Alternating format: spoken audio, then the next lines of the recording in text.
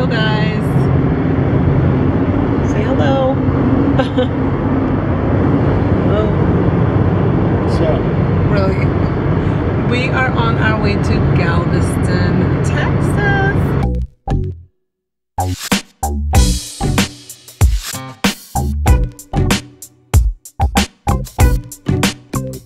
This is my boo that I told y'all was coming. Y'all saw her yesterday on the live stream, maybe when she was just getting there. And they've been having fun. And so, what you been doing? Hmm? Listening to music and reading books? I'm listening to music on this game. Okay. So we're driving. We're about an hour and a half outside of Austin. we're an hour from where we turn in the middle of Austin. We're probably, What? we, we go into Austin and then turn right. Austin? No, oh, sorry, I'm thinking Houston. Yeah. no, I we're meant like, from home. We're, like, an hour and a half two from hours Austin. from Austin. Okay. No, a little bit less than two hours. So we have to go through Houston and then on into Galveston. I'm hoping to find some historical, I don't know, marker, billboard, museum, some information about Juneteenth. And then we want to go to the beach. The acoustic tile on the ceiling, It doesn't do that good of a job. where there should have been beautiful um, I wonder what's plaster work. there. Yeah. Um, that's really unfortunate. I wonder if the skylight was always here. We are in the, fans, the the ceiling fans. we're in the Gal- Galveston Visitor Center, and this um, I bet those ceiling fans were worth their weight in gold when there was no air Well, conditioning in here. probably, but they look hideous. This is the ballroom on a house in a house that is now the visitor The center. all around. Yeah, that's that's tacky. But what was this building before? I, don't, I didn't catch that. I'll show you all this. It's a beautiful building. It's the visitor center now, but it was this really gorgeous building with this great garden. Look how, look how lovely the garden is, guys. Thanks, hon. Beautiful, and there's another there's an extension of the building. It's beautiful.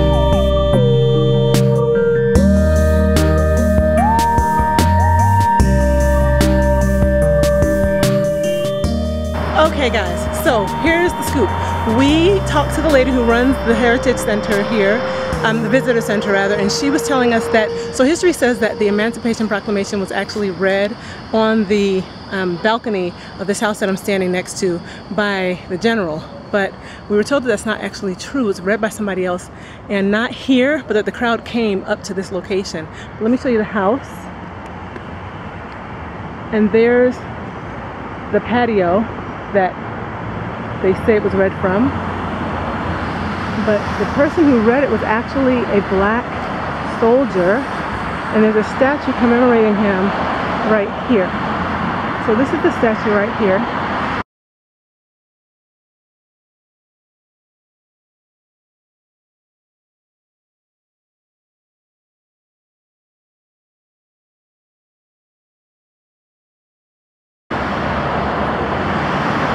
And let me read the plaque to you.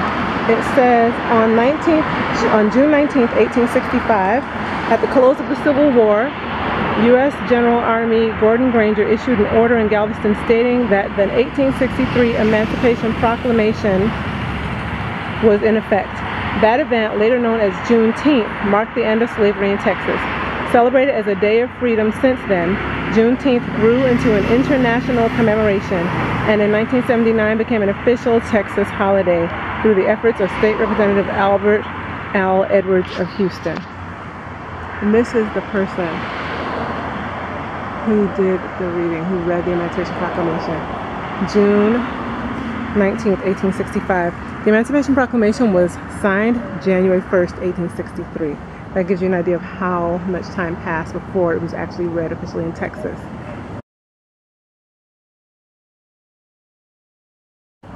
We got out to take a picture of this house and look at this, look at this guys. I've never seen a cloud do that in my life. I can't tell if that's blue sky behind it or shadow. Wow. Isn't that crazy?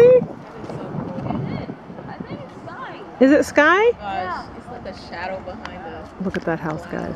We got out. We parked because we were like, what on earth?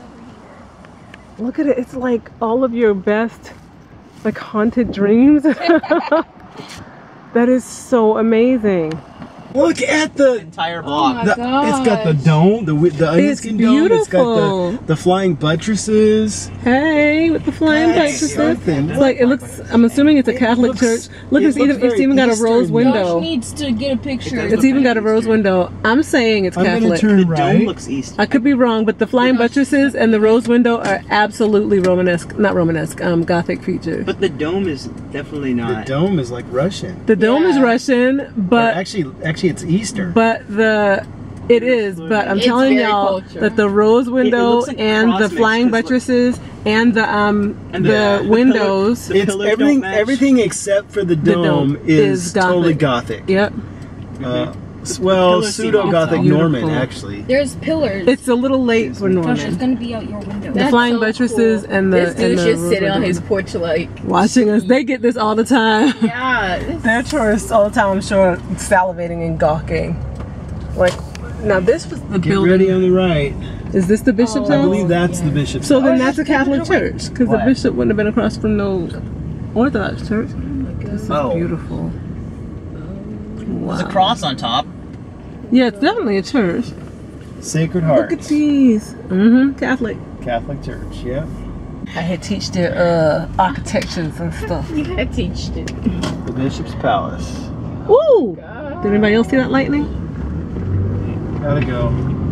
Oh. That was somebody's house. Yeah. A priest. A man of the cloth. Gulf of Mexico. Dear God That's the- of Mexico. My camera screen is upside down. That's the Gulf of Mexico. That's the Gulf of Mexico. Oh So do you see how we just came up a hill? The hill, that's the, this is the wall, right, that we're on. That is right there. Right, but I mean, we just came up it, because if you look behind us, everything was down. Right. So if that water This was all breaches it, up. then that's how the flooding happens. This was all built up to keep the flooding from happening. Yeah. Yay, the beach, guys. It's the beach.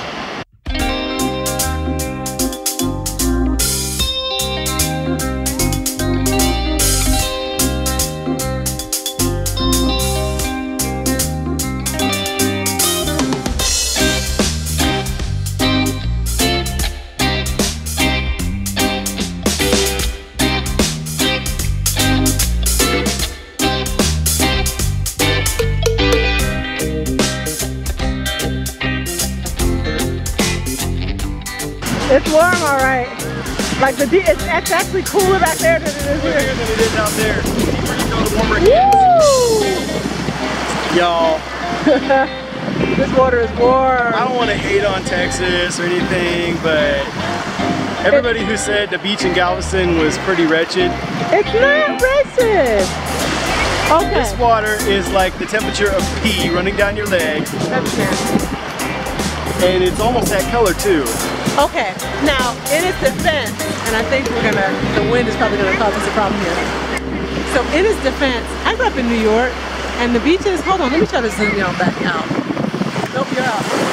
The beaches in New York look just like this. Um, I don't know which way the current is going, but they're very much this color, this kind of brownish gray, not blue and gorgeous. And I feel like the water feels great. Y'all, it's so It's warm. warm and tepid and It's nasty. tepid. Huh? I said I think the current's going that way. It comes, yeah, it Should comes be. like this. I mean, the general current in the Gulf, Gulf of Mexico, comes goes uh, counterclockwise. Kalani got her goggles on and she is ready to do her thing. She got this. She don't care. It's water. She good. Yep. I'm like, Sea and dirty. it's like the color of lake water, It is. brown, brownish yellow. But you know why? It's the silt from the Gulf of, from um, the Mississippi River. Honey, enjoy being at the beach. It's nice to be. And that cloud just like dissipated. Yeah. It was waiting for it to come to the beach. Yeah, well, I was afraid. That cloud I showed y'all earlier, we waited to come to get into the water because we weren't sure what was going to happen. But nothing happened, so people got back in the water. It was thunder and lightning earlier. I just, I feel like we need to go to a beach We went to the beach. somewhere else in the country. This after was probably going to be our one beach trip for the summer, y'all. 'cause- We can take a day trip to Savannah when we go to Atlanta. no, we can't. No, we don't really have time. No, we don't have any time for that. We barely have time to see all our people we need to see when we get there. You see this? Look, look, there. This kid is throwing Cheetos at these seagulls, and they are literally hovering in the air to catch them. First of all, yes, they are pests, and it's disgusting, and I hope them they don't come over here by us and poop. But I've never seen birds just hover like that. Oh my gosh, oh my gosh. Ah, get away!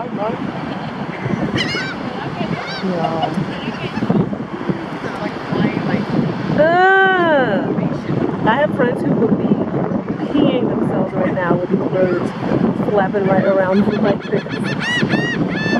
Man, so seagulls are obnoxious. Look at this one flying a kite, y'all. Where is it? Where is it? Where is it? Where is it? Where is it? Ah, there's her stealth bomber kite. I know she's super excited about that. It is now dinner time. Wow, you are super red. We're underneath a red umbrella. So Eric is red. We're all kind of red right now. huh? And the table's red. And I am red-ish. So I just want to show y'all that I got um, lobster um, ravioli. Lobster ravioli with Alfredo sauce. That's what Eric got. Time, let's go. Josh got the same thing. Kalani got, Wait, what is that? Is it the lobster ravioli thing? yeah, we got lobster ravioli. Kalani, what'd you get? Lobster, uh, Lobster mac and cheese, that's right. That has mm-hmm. bacon in it. And Jessica, you got fettuccine alfredo? Yes. Shrimp fettuccine alfredo. Lobster tastes. And then we got calamari. And yeah, so we're gonna dig in. The lobster tastes kind of like grits. How does that happen? First, and then it gets seasoned with Oh, okay.